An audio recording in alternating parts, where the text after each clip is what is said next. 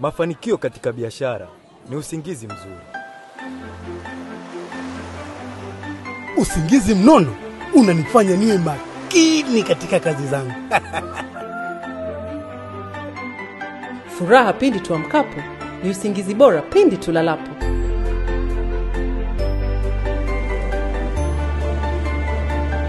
Kamwe akili haiwezi kuwa changamfu pasipokuwa na usingizi bora. Mwili wangu na afya yangu ni usingizi bora nilalapo.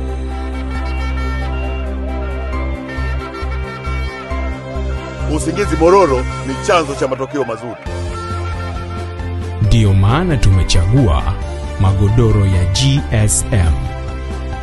Godoro chapa GSM, thamani ya usingizi wako.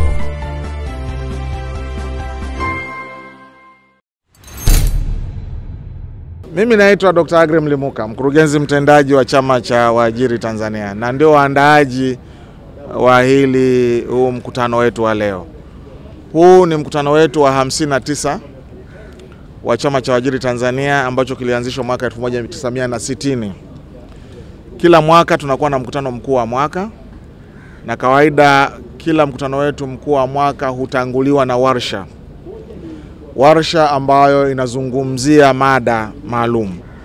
Mwaka huu tumechagua mada juu ya mpango wa kuboresha uh, mazingira ya kufanya biashara nchini Tanzania, ambao inatokana na uamuzi wa Baraza la Mawaziri uliochukuliwa tarehe 18 mwezi wa tano mwaka huu, ambao ulipitisha mpango ambao uliandaliwa na kikosi kazi uh, kikiongozwa na Dr. Uh, John Mduma wa Chuo Kikuu cha Dar es Salaam, idara ya uchumi, ambao waliangalia mazingira ya kufanya biashara nchini mwetu Tanzania, wakaja na mapendekezo uh, nini kifanyike ya kisera, ya kisheria na kanuni mbalimbali mbali, hata kitaasisi.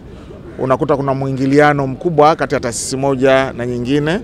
Unakuta kazi zinazofanywa kwa mfano na shirika la viwango Tanzania TBS, Tanzania Bureau of Standards wana maabara wanapima bidhaa, lakini kwa upande mwingine mamlaka ya chakula, madawa nayo inafanya kazi zinazofana na hiyo TFDA. Kwa unakuta uh, mtu analipia TFDA anakwenda kulipia TBS kwa kitu kile kile. Unakuta nao ma, waswa, watu wa ma, afya na usalama kazini wana, wanafanya kazi zinazofanana labda na mamlaka kwa mfano ya zimamoto, wote hawa wanatoza gharama gharama nyingine zinatolewa na serikali za mitaa, nyingine zinatokana na serikali kuu.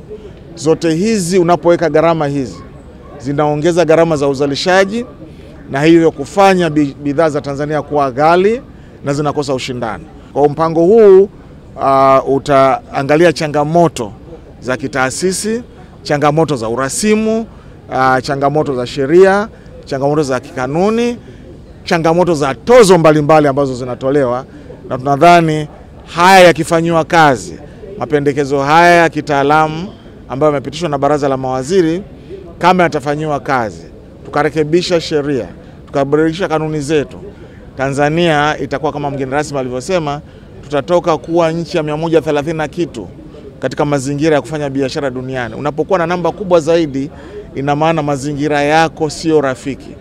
Unapokuwa na namba ya chini zaidi, una maana uh, unakuwa na na mazingira rafiki. Wanataka kutoka katika namba tatu 130 na kitu waende chini ya mia na baada hapo waende chini ya kumi, wawe wanaposema single digit uwe tarakimu moja. Kwa jina naitwa Elisante Ole Gabriel, ni katibu mkuu wizara ya viwanda, biashara na uwekezaji, na leo hii kuna kikao kinaendelea hapa e, ambacho kimetayarishwa na chama cha wajiri Tanzania ATE na mkutano huu eh, lengo kubwa ni kuleta wadau wakubwa watatu pamoja, wanaita utatu wa utendaji, kwa maana ya serikali, vyama vya wafanyakazi, lakini vile vile na waajiri wenyewe.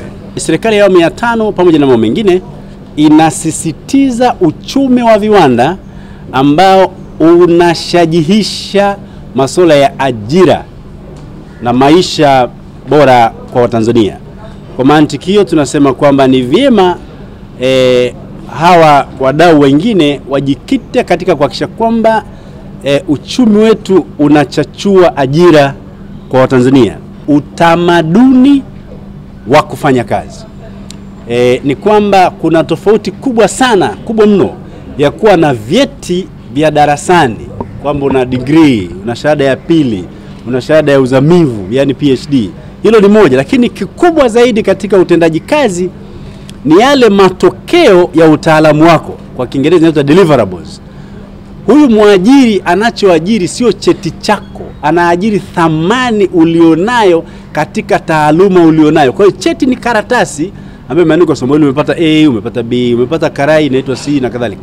Lakini mwajiri kwa kweli, hiyo itakusaidia tuwe kupita labda interview, lakini kikubwa zaidi ni utamaduni wa kufanya kazi. Sasa katika utamaduni wa kufanya kazi ni pamoja na kujali muda, kutunza rasilimali za taasisi, kuwa na maadili mazuri katika utendaji kazi, kuwa na uzalendo, kuwa mbunifu, na kwa kweli haya yote ni kuhakikisha kwamba yule mfanyakazi anakuwa na thamani katika taasisi yanayofanyia iwe serikalini au iwe taasisi ya binafsi, kwa sababu tunachosema ni kwamba e, pale unapofanya kazi thamani yako kwa kweli ndio inayokuweka pale, hasa vijana wanaotoka vioni wasijivune na matokeo ya GPA peke yake, wajivune kwa mchango wanaoutoa kwa wale wanaowaajiri.